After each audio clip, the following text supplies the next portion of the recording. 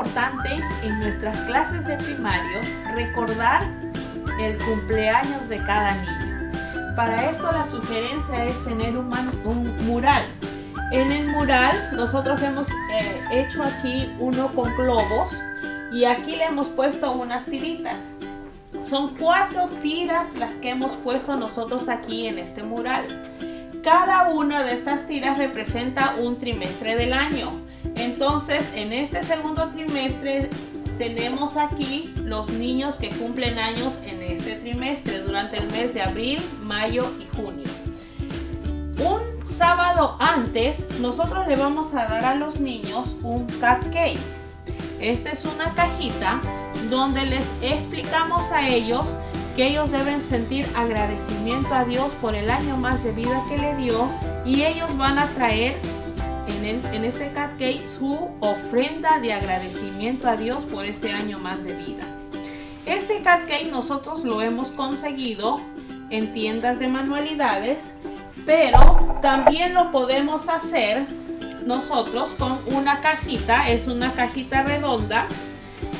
Vamos a abrirla y la hemos forrado en este caso con fieltro y la, lo hemos decorado para poder tener nuestra cajita de cupcake y nosotros le vamos a poder dar al niño para que traiga su ofrenda de agradecimiento el sábado.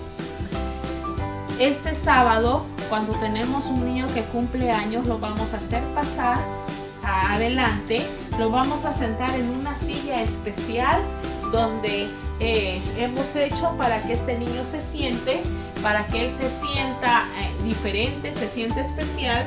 Tenemos un gorrito para poder ponerle al niño o también podemos ponerle un gorrito que, se infla para poder cantarle.